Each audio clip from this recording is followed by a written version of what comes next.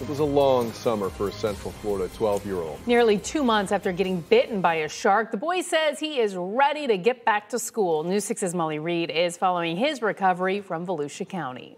A lot of people are really nervous when they first surf there because it's Shark capital of the world. With a love for surfing, though, Jay Villamil, a 12-year-old from Cocoa Beach, ventured to New Smyrna on June 14th with a surf coach and friends. I just got off the wave and I stepped off my board to turn back out, and then I thought I was getting bit by a dog because it, it, took me a while to register that I was like, I'm in the ocean. That surf coach, Charlie Hajek, rushed to help, wrapping a board leash around Jay's leg to stop the bleeding the most terrifying thing ever. Jay's mom, Jamerica, rushed up to New Smyrna. The bite ripped a nerve and tore Jay's Achilles tendon. After four surgeries, he will head to his first day of school on a scooter and boot. His wounds now scars and mostly scabbed over. I can't walk for like the next four months probably because my nerve, I don't have any feeling on the bottom of my foot. A GoFundMe was set up by friends, raising close to $40,000 so far. Jamerica says the community support has kept his spirits up.